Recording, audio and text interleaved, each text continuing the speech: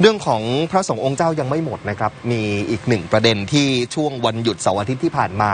ได้รับความสนใจมากทีเดียวนะครับค่ะในโลกออนไลน์เนี่ยติดค่ะเทรนด์ทวิตเตอร์ค่ะก็คือเรื่องของพระมหาสมปองค่ะนะครับพส.สมปองที่ท่านไลฟ์นะครับเราก็มีการตัดพ้อว่าท่านเนี่ยถูกจ้องจับผิด ถูกจ้องจับสึก แล้วก็ถึงกับน้ำตาคลอนะฮะซึ่งประเด็นนี้เนี่ยก็มีการออกมาเปิดเผยข้อมูลกันในหลายด้าน หน่วยงานที่เกี่ยวข้อง ล่าสุดพอมีคลิปนี้ออกไปก็ออกมาชี้แจงเหมือนกันครับบางทีผมรู้สึก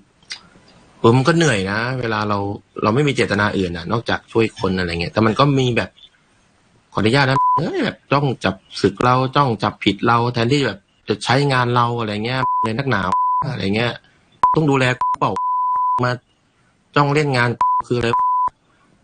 แล้วแบบ เฮ้ยแล้วเอากำลังใจจากไหนอะ ผมก็เป็นหนึ่งในกำลังของของพุทธศาสนาไม่ใช่หรอคุณให้ผมเรียน ผมก็เรียน ผมยังไม่รู้อนาคตผมได้ซ้ำมาเรียนบาลีไปทำอะไร ขออนุญาตใช้คำแรง ผมก็เรียน ผมก็ท่อง ให้ผมท่องอะไรแม่งผมก็ท่อง ให้ผมทำอะไรผมก็ทำไม่ให้ผมพูด ผมก็ไม่พูด ให้ผมหยุดครับผมก็หยุด ผมดื้อเหรอแล้วผมทำขนาดเนี้ย แล้วคุณก็ยังแบบเอ้ยจ้องจับศึกผมคืออะไร ผมไม่ใช่ลูกพวกคุณเหรอ ผมไม่ใช่คนที่พวกคุณปั้นมาเหรอ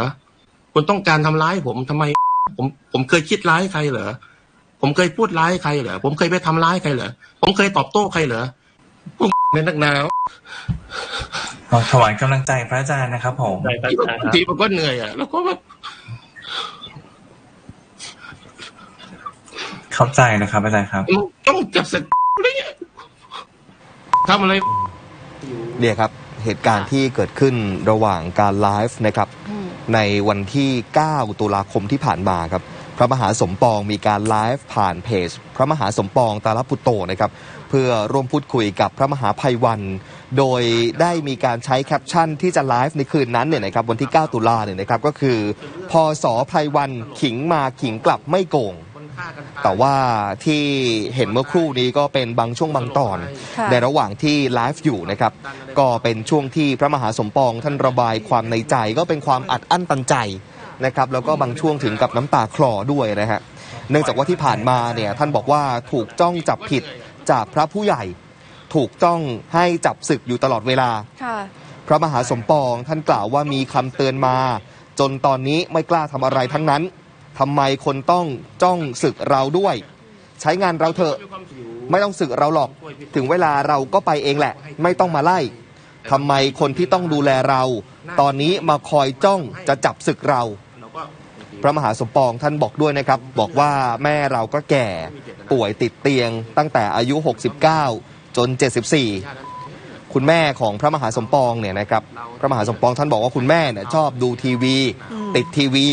แล้วพอช่วงหลังๆระยะหลังๆเนี่ยก็มีข่าวช่องหนึ่งเล่นข่าวแรงเลย บอกว่าพอสอสมปองจะโดนจับศึก แล้วปรากฏว่าคุณแม่ก็ที่ดูทีวีอยู่อะนะครับ ก็ไม่ค่อยสบายใจ ก็เป็นกังวล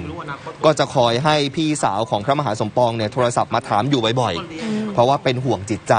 เป็นห่วงสิ่งที่สิ่งที่เกิดขึ้น ทางอ่าพระมหาสมปองเองก็ห่วงจิตใจคุณแม่เหมือนกันค่ะนะครับที่จะต้องรับรู้ข่าวสารแล้วก็มาเครียดมากังวลกับกับข่าวที่เกิดขึ้นนะฮะเนี่ยเป็นเป็นช่วงหนึ่งที่ไลฟ์เมื่อวันที่ 9 ตุลาคม แล้วก็กลายเป็นประเด็นแหละครับ ก็ต้องยอมรับว่ากลายเป็นประเด็นคนก็ให้ความสนใจเยอะเอาว่ามันเกิดอะไรขึ้นกันแน่ ขณะที่นายสิบบวรแก้วงามครับ รองผู้อำนวยการสำนักงานพระพุทธศาสนาแห่งชาติ รักษาราชการแทนผู้อำนวยการสำนักพุทธนะครับ ท่านก็บอกว่าเรื่องดังกล่าวเนี่ยทางสำนักพุทธยังไม่มีข้อมูล ผู้ที่รู้ดีที่สุดคือตัวท่านพระมหาสมปองเอง เพราะสถานะของพระมหาสมปองเป็นพระลูกวัดสร้อยทอง ผู้ที่จะศึกพระมหาสมปองได้ก็ต้องเป็นเจ้าคณะผู้ปกครองโดยตรง ก็คือเจ้าอาวาสวัดสร้อยทอง ไม่ใช่อยู่ๆใครจะไปศึกท่านได้ แม้แต่สำนักพุทธเอง ก็ไม่มีอำนาจในการศึกพระสงฆ์และจากหลาย ๆ ประเด็นในช่วงที่ผ่านมาเกี่ยวกับพระมหาสมปอง หากท่านปฏิบัติตามคำตักเตือนคำแนะนำของเจ้าอาวาสวัดสร้อยทองแล้ว ก็ไม่ต้องกังวลว่าจะโดนศึกค่ะอันนี้เป็นข้อมูลของทางฝั่งรองผู้อำนวยการสำนักพุทธนะครับนะฮะนายสิบบวรแก้วงามนะครับที่ตอนนี้ท่านรักษาราชการแทนผู้อำนวยการสำนักพุทธอยู่นะครับ ท่านก็ให้ข้อมูลประมาณนี้นะครับว่าถ้าสืบสาวเราเรื่องไปเนี่ย ไม่รู้แหละว่าว่าต้นสายปลายเหตุเกิดขึ้นจากอะไร แต่ถ้าพูดถึงเรื่องของการศึกไม่มีใครไปศึกพระมหาสมปองได้ค่ะนอกจากตามขั้นตามชั้นปกครองของพระมหาสมปองเอง ขณะที่ล่าสุดนะครับ เมื่อคืนนี้ก็มีการไลฟ์อยู่นะฮะของพระมหาสมปองพออาพอสสมปองเนี่ยนะฮะก็ยังมีไลฟ์อยู่ตามปกตินะครับ ก็เห็นว่าท่านระบุว่าท่านเนี่ยได้รับกำลังใจมามากนะครับ จากเหตุการณ์ที่เกิดขึ้นนี้ที่มีการไลฟ์ตัดเพ้อ ความอัดอั้นตันใจที่ผ่านมาล่าสุดเมื่อคืนนี้ท่านบอกว่าท่านได้รับกำลังใจเยอะนะครับ มาจากการที่ไปลงน้ำท่วมไปช่วยเหลือชาวบ้าน มีคนเจอคนก็ให้กำลังใจเยอะ รวมไปถึงกำลังใจที่ผ่านคอมเมนต์ต่างๆ ในโลกออนไลน์ก็เยอะเหมือนกัน ที่ส่งเข้าไปให้กำลังใจพระมหาสมปองนะครับ ท่านก็ยืนยันว่าท่านจะไม่สึกแล้วก็จะทำหน้าที่ที่จะคอยช่วยเหลือผู้คน และก็ช่วยเหลือสังคมต่อไปนะครับ เยอะนะขึ้น save พระมหาสมปองเต็มทวิตเตอร์ไปหมดเลยอะอืมค่ะค่ะแฮชแท็ก save พระมหาสมปองในทวิตเตอร์นะคะ